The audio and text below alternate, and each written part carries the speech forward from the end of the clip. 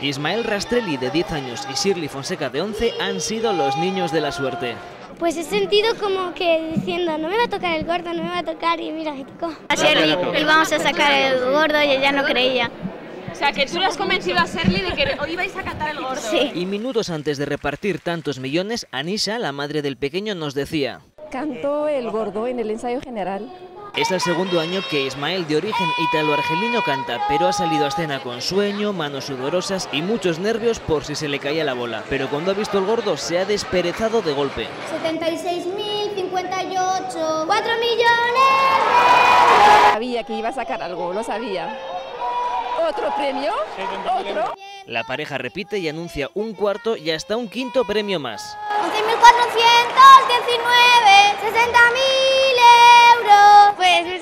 contenta, la verdad. Shirley es la primera vez que canta. Hace cinco años llegó de Cuba con su madre, que hoy era incapaz de contener las lágrimas. muy nerviosa porque ya sabía que quería ganar y lo ha logrado. Los niños no han pedido ningún detalle porque para ellos cantar el... Bueno, 76.058, 4 millones de euros.